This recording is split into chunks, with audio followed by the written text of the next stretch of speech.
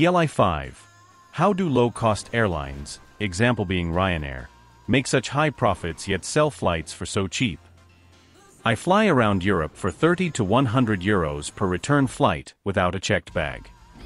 Yet Ryanair are one of the most profitable airlines in the world, yet charging such cheap prices. Are other airlines just not as efficient as low-cost airlines? A lot of different things. The basic premise of low cost is to remove everything that is a non-essential G or add it back as a fee.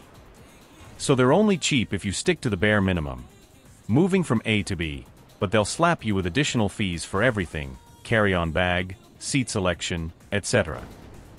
It would be interesting to see what is the real average ticket price per customer. They use out-of-the-way airports with lower fees. They'll cut corners on everything up to the legal limit, like making their pilots fly more hours etc. Edit. Looked up last annual report for Ryanair. Ancillary revenues, in-flight sales, luggage fees, etc. add 47% versus ticket sales. So for a 100 euro flight, they on average book 147 euro total revenues.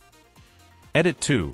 I'm talking from memory, so it might not be true anymore, but they also used to have a simpler fleet of planes, like leasing a bunch of A320 from Airbus, that made maintenance simpler versus the large companies that have a mix of Boeing, Airbus, long range slash short range.